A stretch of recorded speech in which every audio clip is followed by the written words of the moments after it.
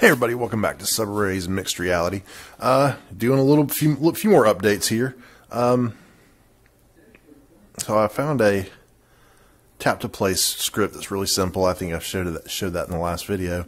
Um, I did a little bit of art updating here, and I don't know how loud the music's going to be, but um, this is just stuff I found, you know, textures and stuff I found on the net nothing more than place markers still, but it's a little bit more detailed.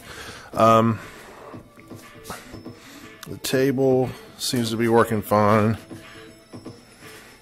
My window set is working better than it has. It's still a little weird, uh, and then it crashed. This is the problem I'm having, and I can't figure out what what is going on. Um, it just it doesn't always crash on the window.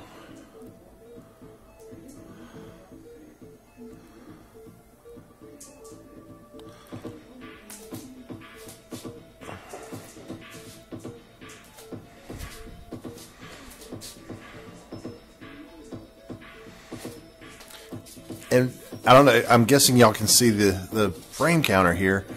I've gone through, rebuilt that city scene completely and I'm sure you can tell those are just pretty much square buildings now instead of full detailed buildings like I had. And actually, I think my frame rate's worse. So I'm not sure what's going on there. Um, and every time I do this one, it crashes. But I just wanted to show you all the next step and uh, show you some of the woes I'm dealing with at the moment. Um, one of the next steps I'm going to try to figure out is how to make those screens update with real-time information. Hopefully that will be in the next video. Thanks.